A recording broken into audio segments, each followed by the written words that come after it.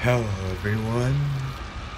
My name is Nanti Lumpkin. I've been waiting through a long time in hell to get my freedom out of this mockery underworld. So I came to this world of October, and now I consider taking over Nick Lumpkin as I can.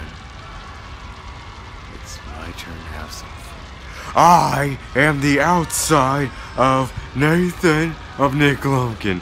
I am the 666 version outside of the cameras. I am the evil that you don't wish. Ever since Nick left Nick Lumpkin, I been out of control.